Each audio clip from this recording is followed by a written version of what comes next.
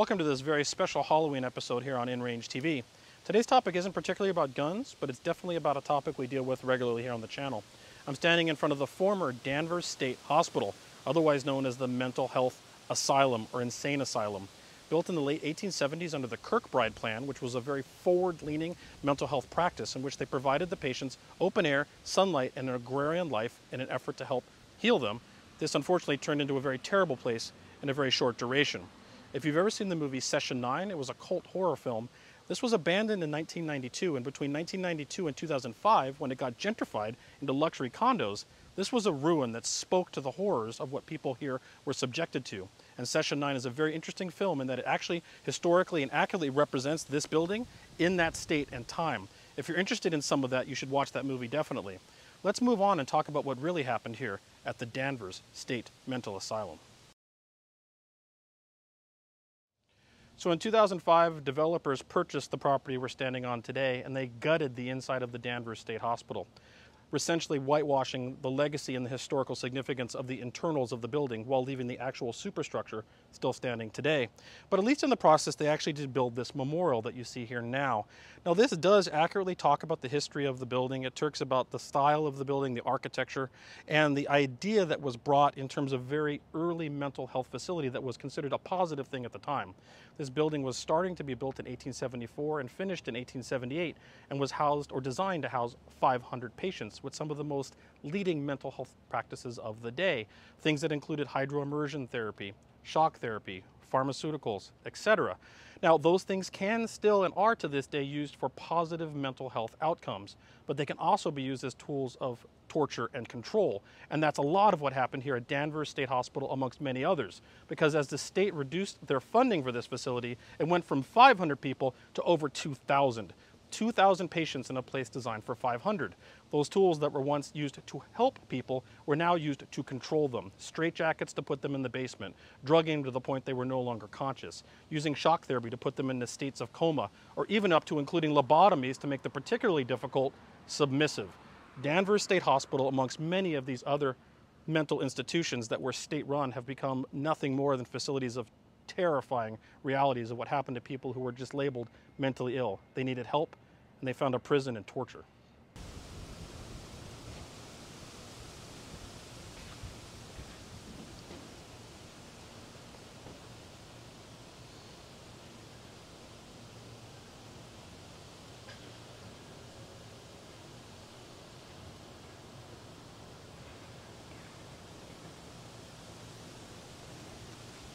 So this is the somewhat overgrown path to the second Danvers State Cemetery in regards to what was a satellite facility specifically for women.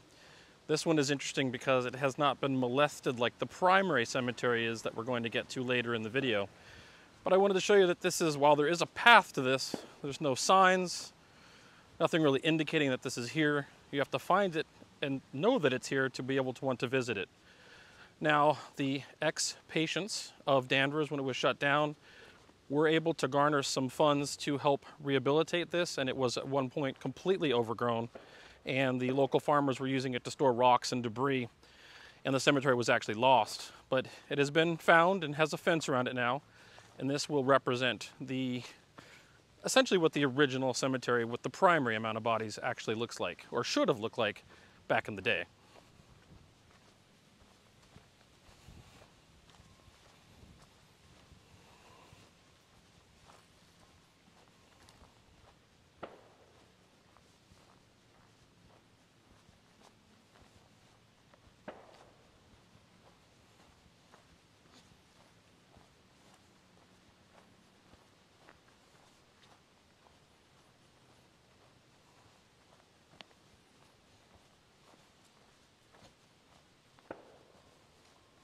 So as I said earlier, this is actually the second cemetery related to Danvers State Insane Asylum, but this one represents what the original first cemetery would have looked like before it was altered.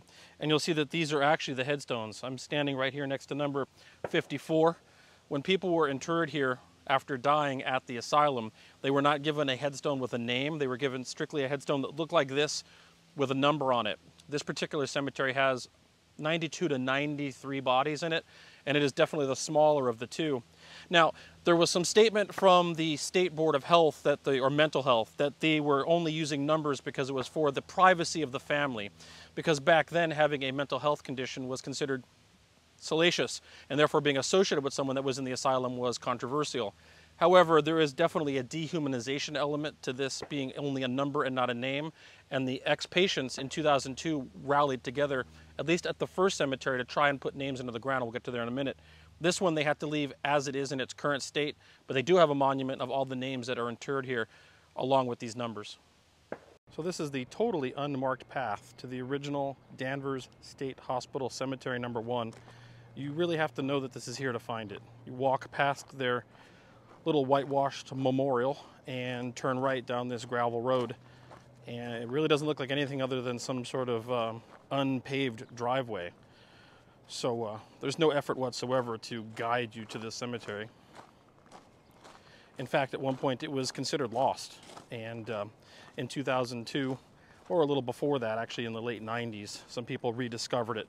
And that's when the patients that were held or interned once at this hospital that were still alive got together, formed a commission, and attempted to do something to memorialize the people that had been interned here, uh, probably in some pretty horrible ways, for a very, very long time. Once again, no markers whatsoever, no clear indication of this at all. You have to know where to go and then know to turn right here at this clearing, which then leads you to the cemetery number one.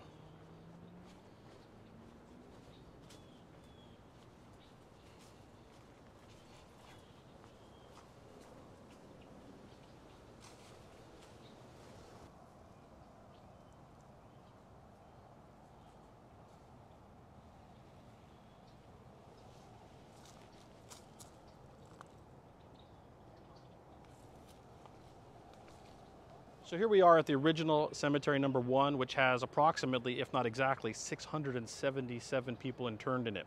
And at one point, this cemetery would have looked very much like cemetery number two, where all of the markers were nothing more than standing stones with numbers on them.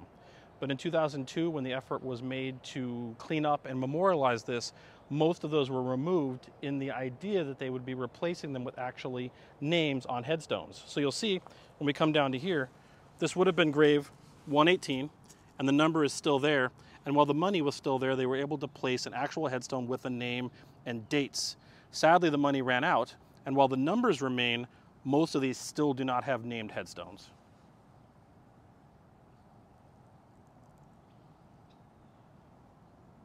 So as I said, in the process of trying to clean up the cemetery, they pulled all the original strictly numeric markers. They did leave behind the little numeric discs, so for the people that were unable to be identified, there's still at least a number there. And for the people they were able to afford to put in actual headstones, they've done that, of course, as well.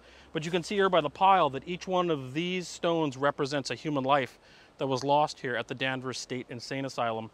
And these stones are now just piled here in what really looks like nothing more than a refuse pile, which is exactly what this cemetery was treated like for so much of the duration of its existence. Now, this place has been renovated and turned to high rent luxury condos. What does it cost to live in a spooky place like this?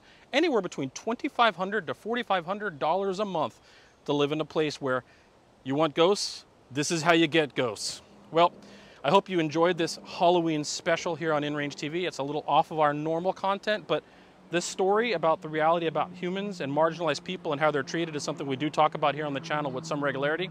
And if you like, which is not the word, this sort of content, please consider supporting me on Patreon. It's your dollars that keep this project alive. No masters, no gods, no overlords, no corporate sponsors, just you, the viewer. Thanks for watching.